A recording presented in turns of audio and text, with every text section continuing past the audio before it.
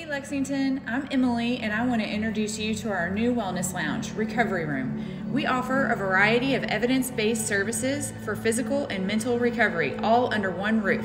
Whether you're training for a marathon, powerlifting, working a 12 hour shift, or looking for ways to improve your quality of life, we have a recovery option for you.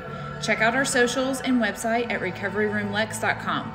Stop in for a quick tour and get $5 off your first B12 shot.